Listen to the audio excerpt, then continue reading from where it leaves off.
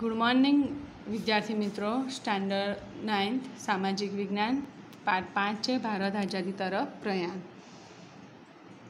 હિન્દના વહીવટીતંત્રમાં નવા સુધારાની ભલામણ કરવા ઈસવીસન ઓગણીસો સત્યાવીસમાં ઇંગ્લેન્ડથી સાયમન કમિશન ભારત આવ્યું. સાત સભ્યોના બનેલા આ કમિશનમાં એકે હિન્દી સભ્ય ન હોવાથી સમગ્ર ભારતે તેનો સખત વિરોધ કર્યો.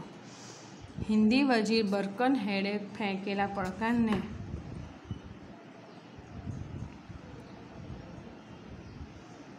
ઉપાડી લઈને મોતીલાલ નહેરુ કમિટીએ એક વિશેષ પ્રકારના ભારતના બંધારણની રૂપરેખા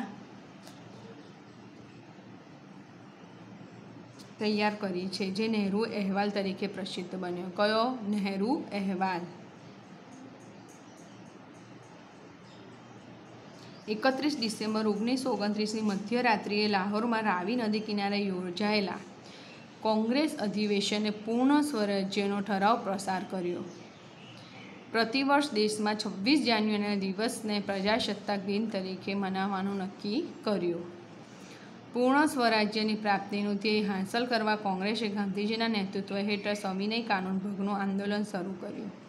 આ આંદોલનના એક ભાગરૂપે મીઠાના અન્યાયી કાયદાનો ભંગ કરવા ગાંધીજીએ બારમી માર્ચ ઓગણીસો ત્રીસના રોજ અમદાવાદના સાબરમતી હરિજન આશ્રમથી નવસારી જિલ્લાના દાંડી બંદરના દરિયા કિનારા સુધી દાંડી કૂચ કરી.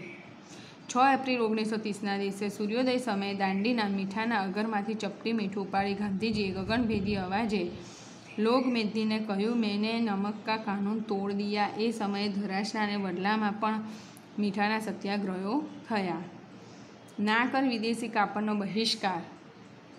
સરકારી નોકરીઓ અને શાળાઓમાં ત્યાગ. સરકારી કાયદાનો ભંગ, કિતાબોનો ત્યાગ વગેરે કાર્યક્રમો પર આધારિત સવિનય કાનૂન ભંગનું આંદોલન ખૂબ વ્યાપક અને ઉગ્ર બન્યું. ઈસવીસન ઓગણીસો ત્રીસમાં લંડનમાં પ્રથમ ગોળમેજી પરિષદ યોજાઈ.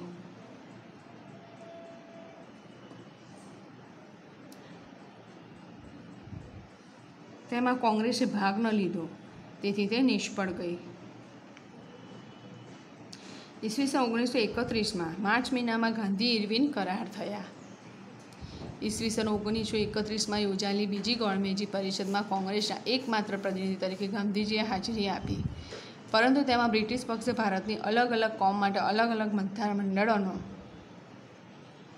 વિભાજનકારી મુદ્દો ઉઠાવ્યો. તેથી પરિષદ નિષ્ફળ ગઈ.